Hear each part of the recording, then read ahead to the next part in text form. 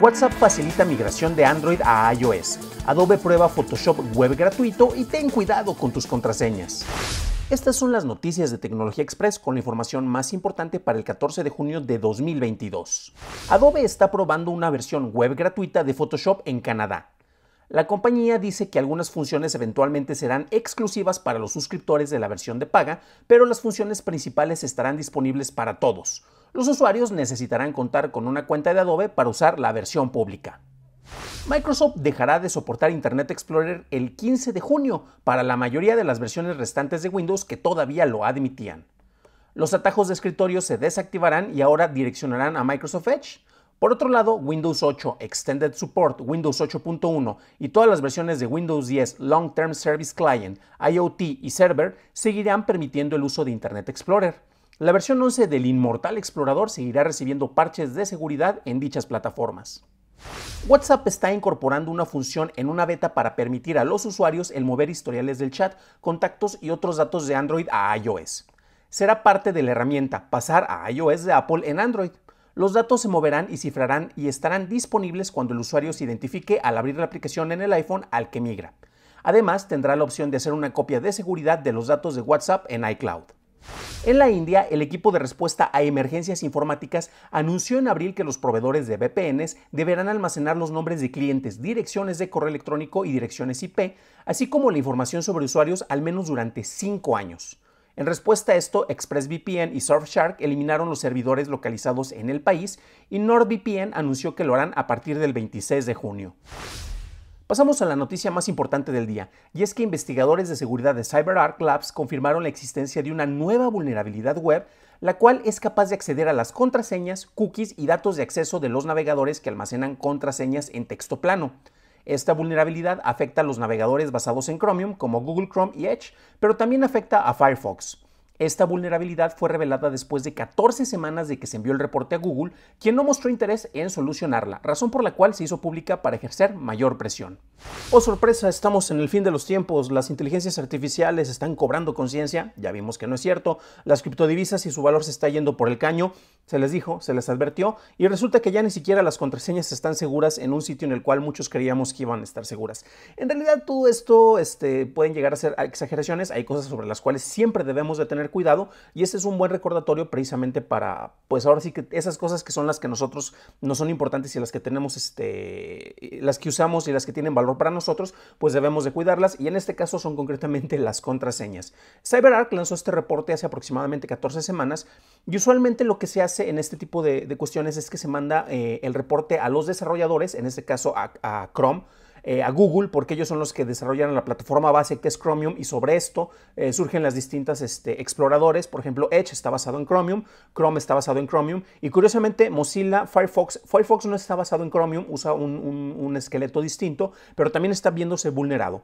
¿Qué es lo que está ocurriendo? Pues bueno, tenemos una vulnerabilidad y eh, les recomiendo que chequen la liga en la cual precisamente viene en las notas del episodio, porque aquí se está explicando cómo funciona esto. A grandes rasgos, ¿qué es lo que ocurre? Que una vez que tú estás utilizando una, entras a una página web usando las credenciales típicas de nombre y usuario, estas se almacenan en formato de texto, incluyendo las cookies. Esto pasa en cualquier explorador. Después, un atacante puede hacer que el navegador cargue en la memoria todas las contraseñas almacenadas en el gestor, en el archivo de login data. Toda esta información se puede extraer fácilmente con un proceso no elevado que se ejecuta en la máquina local y se hace un acceso directo a la memoria usando las APIs de Open Process y Read Process Memory. Finalmente, los datos obtenidos pueden emplearse para robar las cuentas de los usuarios, incluso bajo la protección de un mecanismo de autentificación, de autentificación multifactor o MFA, para lograr eludir este último mecanismo de seguridad y es como se emplean las cookies de sesión. Pero bueno, eh, esto es algo que se había avisado, Google como que no estaba muy, muy, ¿cómo decirlo?, muy convencido. Este, sí, tenemos muchas cosas que preocupar porque Skynet ya está surgiendo en nuestros laboratorios. No está saliendo. Entonces, ¿qué es lo que está ocurriendo aquí?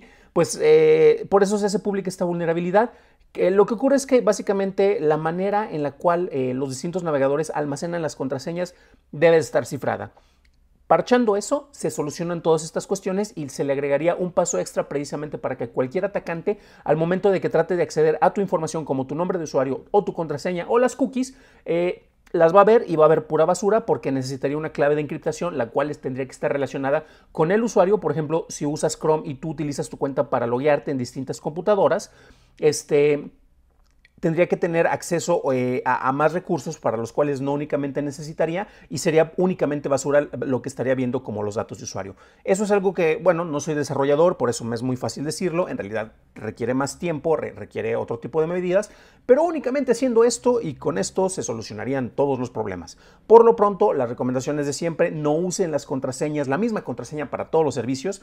Otra cuestión que de repente muchos en su momento llegamos a utilizar es que utilices una contraseña muy compleja, pero como de repente este, se complica precisamente utilizarla en tantos servicios, porque incluso hay servicios que te piden que cambies las contraseñas cada tres meses, cada seis meses, dependiendo, lo cual eso también son malas prácticas. Pues de repente tenemos una contraseña compleja y le cambiábamos unas cosas y pues saben que resulta que eh, si mantenemos aunque sea parte de la contraseña y le estamos reciclando en varios sitios aunque le cambiemos no sé las últimas tres letras pues resulta que tampoco es tan seguro. Tenemos distintos servicios que precisamente te ayudan para almacenar estas contraseñas y eh, es como que una de las versiones más seguras si no pueden utilizar este tipo de servicios pues nada más sean conscientes precisamente de, al menos en los servicios que, que se tiene información más sensible como los servicios bancarios o en cuentas que están vinculadas a, ahora sí que casi casi a tu vida. Para algunos puede ser tu cuenta de Google, por, por poner un ejemplo tengan mucho cuidado con estos aspectos, tengan siempre redundancias y manejen mucho seguridad. No, no dejen así como que la típica contraseña de password 1234, chin, ya les dije la mía. Eh, ¿Por qué? Porque esto es este, muy fácil de adivinar y con esta vulnerabilidad que acabamos de ver y de analizar, pues sabes que aunque tengas contraseñas un poco más complejas, pues resulta que te pueden atacar. Pero bueno, ¿ustedes qué hacen para manejar su seguridad? Si les gusta clavarse y meter contraseñas que no son passwords, sino que son passphrases o frases de contraseña, que es algo más largo y todavía más complicado, así de clavado son en su seguridad, o les vale y utilizan 1, 2, 3, 4, 5, 6, 7, 8 y ya con eso únicamente este, dejan sus contraseñas casi casi a la vista del portador, del portador, del espectador, carajo. Eh, déjenlo en los comentarios que me interesa saber su opinión. Para un análisis más a detalle en inglés, visita dailytechnewshow.com en donde encontrarás notas y ligas a las noticias. Si encontraste útil la información de este episodio, recuerda que me lo puedes dejar saber dejando una calificación positiva en Spotify y en Apple Podcast y también nos encuentras en Acast y en YouTube, donde también nos puedes dejar un que no te cuesta nada. Eso es todo por hoy, gracias por acompañarme, nos estaremos viendo en el siguiente programa y deseo que tengas un maravilloso martes.